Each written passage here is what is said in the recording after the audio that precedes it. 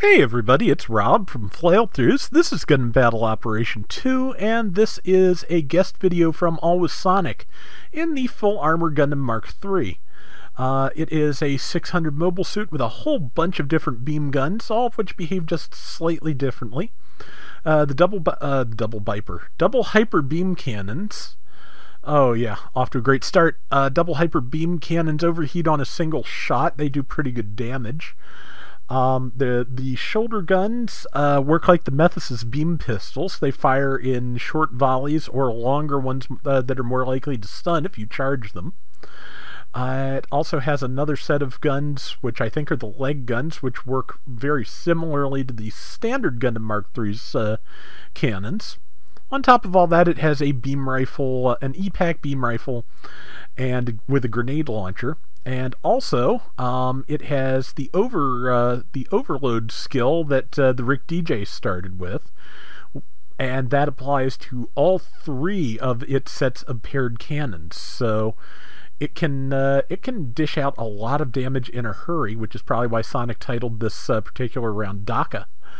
But yeah, it's it's pretty good. I know uh, I know uh, you know what I'm talking about here a little bit because as always happens when somebody is nice enough to get me around with the week's mobile suit, I rolled it this afternoon. But luckily, I got a good ground round with it, so uh, I was going to run Sonics regardless because uh, he was nice enough to get this for me. But since I've got a ground round, that means you know not uh, no you know duplication of uh, effort there, so I can run that sometime soon. Um, as of this uh, recording, I think the Gundam Evolution uh, demo is pretty much about to end, or the you know ne uh, closed network test, I think it is. So hopefully the game will actually come out soon. It's interesting. I don't think I'm going to make as much of a habit of it as I uh, do GBO2. I'm hoping with my experiences of having to turn the graphics down all the way on uh, Evolution to get OBS to work. I hope GBO2 will uh, let me get a couple rounds on PC just to show it off when it's time. But uh, meanwhile, back to the fight, which going pretty well. Uh, Sonic has done quite a bit of damage. It's currently 4,300 to 1,800, which is a, a, good score to have this early in. Uh, I think that's a Z2 he's fighting at the moment, and uh, yeah, just about any. Yeah, I was about to say just about anything he's got should take huge chunks out of that because it is. Uh, yeah, it's a general. He's a support, and I, I the uh, Mark III is a fairly spry support, so it's it's not bad. Um, people have said it looks kind of like a transformer. Somebody specified Star Saber. That doesn't surprise me since Kunio Okawara, who designed the Full Armor Mark III along with the original Gundam and Zaku and a bunch of other things, um, was the uh, did the final pass on the Star Saber design. Uh, but uh, yeah, it also just reminds me of his F90 stuff, which they were done at the same time, and with Okawara, a lot of the times when some uh, any two of his designs done in the same period will look the same, or not the same, but similar, uh, regardless of what time period within the Universal Century they're supposed to take place in.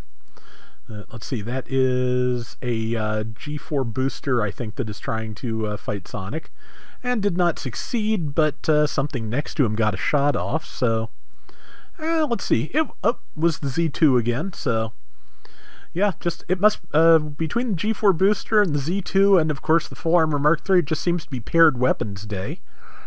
But uh, yeah, so far so good. Uh, 94, 95 to 53, 90. That's that's a good score for Sonic's team. And but yeah, uh, the uh, it's like I said, it's a pretty solid machine, and since overload affects all three sets of paired cannons, since they all have heat gauges, uh, you can really uh, just pour damage onto something if you need to. Uh, I'd I'd kind of want to uh, take it into uh, one of the boss fights at some point and just see how much uh, damage I can put out in a short period. But I'd kind of like to see a challenge modes that uh, involve ship destroying at some point. Just because I think that could be an interesting uh, take. You know, just let us sink a Pegasus class, a Musai, you know, things like that. Let's sink the Dolos. That would be a that would be a fun challenge stage. But uh, yeah, that, like I said, it's got got good weapons. It's uh, I think it's space compatible, like so many things are, and uh, yeah, it it hits pretty hard. Yep, good damage there. E-Pack rifle. Yeah, that's a Byarlant custom, I think, that he's uh, hitting right now, so he's got type disadvantage and still doing really well and just pouring on the damage. Um, let's see, yeah, that's the big beam gun I think he just fired, and uh, it was enough to hold the Byarlant still for uh, his teammates. That's good. Good charged shot on that Z2. And let's see.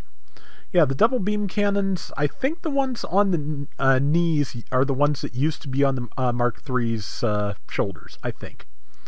But there goes that Z2. There might be two of them now that I look at it, but uh, hard to say. But uh, 12,000 to 8,000, good lead with two minutes left. Almost killed it with the uh, Methuss volley there. Um, you know, no relation to the actual Methuss, but it really is almost exactly how the Methuss's beam guns work in, in GBO2. Um, let's see. And yep. Yeah, it's one of the it's one of those things where once you hit with something you can just combo all day. So that's that's one of the better kinds of supports at this point because uh, just yeah, if you can I, I think considering the amount of damage that a raid can do to you if you uh, if they get to you, I think stun locking them death is perfectly fair. It's like whoever whoever connects first basically wins. Uh, that's you know that's that's about as fair as it gets uh, in the high costs. I feel like. And there is the pilot, which Sonic uh, managed to line up with and uh, and uh, collide. So and that's a minute left, so they're not going to be sneaking off towards the base to plant a bomb, because, uh, yeah, they're past the, uh, past the point of no return on that. The bomb would not go off in time, so nothing left to do but fight it out, and Sonic's team has a really good lead for that. So, let's see. Uh, rifle, cannons, grenades, rifle, yeah, you can just yeah, you can just combo from weapon to weapon to weapon so so easily. Kind of surprised that I don't think it has the uh, skill that the uh, uh, Pale Rider D2 has that switching from one weapon on the Shekinah to another uh, uh, gives decreased swap time. Um, I was uh, you could kind of do that here with like any you know any paired weapons have decre- uh, decreased swap time. That would be interesting, but also might be overkill considering. Uh, let's see, Byarlant Customs closing in on Sonic with about 10 seconds left. If that if that saber shotted a hit, I think Sonic would uh, would make it. But yeah, Byarlant's uh, managed to home in on him on him at the last second, but uh, still had a 4,000 point lead, so it only matters so much. So yeah, very nice, and yeah, it's nice design. I like it. Uh, yeah, good, great round. 5,200 points, uh, 900 assists, 124,000 damage, and uh, let's see, what is uh, kill count? Seven to two. Very nice. So that is going to do it for today's Gundam Battle Operation 2. We'll be back soon with more. Till next time, everybody take care and have fun. Later. Remember how I was saying that a lot of uh, Okawara's designs from a general time period tend to look similar? Well, um, Star Saber was created for Transformers Victory, which ran in 1989, so that's the same basic time period as this Mark III and the F90 work, so yeah, that kind of tracks.